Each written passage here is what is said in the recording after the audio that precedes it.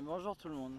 Donc euh, là, il fait trop beau, il fait tellement, c'est tellement merveilleux. J'en profite pour faire quelques vidéos et euh, pareil répondre un petit peu euh, aux questions, à certaines questions qui m'ont été posées ou voilà certaines, certains questionnements de, de mes proches. Donc voilà, aujourd'hui on va, je vais vous parler un petit peu du nom du bateau, de, de Saori, donc le nom du bateau, pourquoi Saori, etc. Expliquer un petit peu euh, le pourquoi du comment. Donc euh, déjà, une fois de plus, euh, un bateau c'est un peu comme un cheval, on n'a pas le droit de le renommer, blablabla. blablabla. Bref, Euh, voilà, on est, libre de faire ce qu'on veut. Si on part en voile, c'est pour être libre. Du coup, ça se fait beaucoup, de toute façon, vous inquiétez pas. Donc voilà, je vais renommer le bateau parce que de toute façon, il s'appelle Vassalan. Vassalan, euh, déjà il y a l'an dedans, donc euh, on a connu mieux. De deux, j'ai cherché sur internet, euh, j'ai rien trouvé. En breton, ça veut rien dire. En français, ça veut rien dire. Donc, le bateau vient de Dunkerque, donc je vous laisse imaginer ce que ça veut bien pouvoir dire. Donc, je vous laisse, si, vous, savez, hein, s'il y a des gens de Dunkerque, aidez-moi à trouver la. Au moins savoir un peu d'où ça vient, l'origine de ce mot Vassalan, V-A-2-S-A-L-E-N-T. Bref. Voilà, aujourd'hui on va faire les papiers pour les douanes, etc. pour euh, renommer le bateau et l'appeler Saori. Donc je compte aussi un petit peu euh, euh, bah, au moment où je vais le renommer, etc. Mais tout ça, je pense que ça va durer un petit moment parce que je pense que je vais attendre le prochain carénage pour tout faire. Parce que voilà, il y a quelques surprises que je vais rajouter, mais ça on verra plus tard. Et voilà. Donc en gros, bah, qui est Saori? Saori, c'est une fois de plus la déesse Athéna, hein, une, euh, la réincarnation, si vous voulez, de la déesse Athéna. Et, euh, pourquoi Athéna? Parce que moi, ça m'a toujours parlé depuis tout petit. Moi, Athéna, ça reste euh, la déesse protectrice des, humains, hein, la, déesse qui protège les humains de la colère des dieux. À la base, c'est un, petit- peu ça, on va dire, hein, dans certaines mythologies. Après, ça dépend, mais moi, je le, je le vois comme ça, si vous voulez. Et donc, euh, surtout dans le manga, dans Senseiya, si vous voulez, c'est. euh, elle se bat contre. euh, plus ou moins Odin, contre Poséidon, contre Hadès, contre tout ça. Donc, c'est vrai que.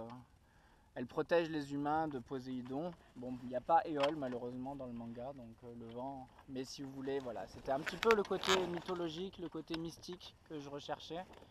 Je me dis toujours que dans un moment, grand moment de solitude, en cas de perdition, euh, c'est bien de pouvoir se raccrocher à quelque chose, vu que moi j'ai rien d'autre à me raccrocher. Et, euh, et voilà, donc du coup, c'est ce qui m'a paru le, le plus. euh, le plus le plus en adéquation avec ce que je recherchais. Voilà. Une fois de plus, ce qui m'a beaucoup plu et ce que je recherchais à la base, c'était un, un nom facile à dire, facile à épeler, facile à écrire, facile à prononcer, très compréhensible parce que les VHF des fois euh, ça, ça fait euh, c'est pire que tout quoi, vous entendez rien rien rien quoi. Sur les bulletins météo, moi ça m'est arrivé de piger un mot sur 15 quoi. Donc euh, faites votre relevé météo avec un mot sur 15. euh, heureusement qu'il répète trois fois le truc. hein, ça vous fait trois mots sur 15. Donc voilà. Et du coup Saori, voilà, Saori, S-A-O-R-I. On peut pas faire plus simple. Ça s'entend bien, c'est clair à la VHF, c'est plein de voyelles, c'est court.